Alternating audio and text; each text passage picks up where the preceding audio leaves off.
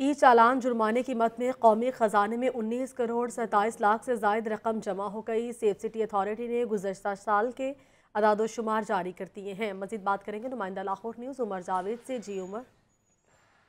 जी, बिल्कुल, Punjab safe cities authority की जानब से साल 2020 में किए जाने वाले इलेक्ट्रॉनिक चालान का डाटा जो है वो जारी किया गया है।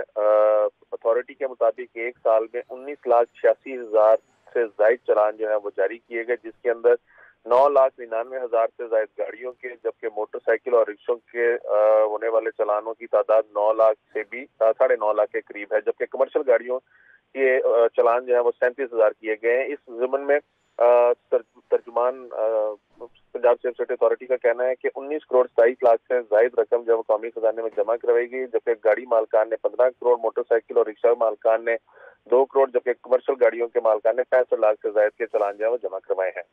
ठीक है बहुत शुक्रिया आपका।